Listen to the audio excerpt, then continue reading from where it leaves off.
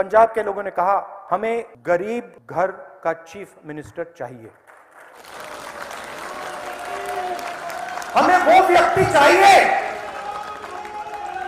जो गरीबी को समझे, जो भूख को समझे, जो गरीब व्यक्तियों के दिल में घबराहट होती है, वो उसे समझे, क्योंकि पंजाब को उस व्यक्ति की ज़रूरत है।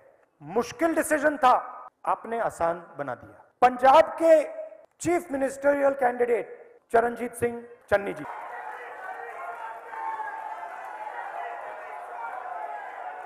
Thank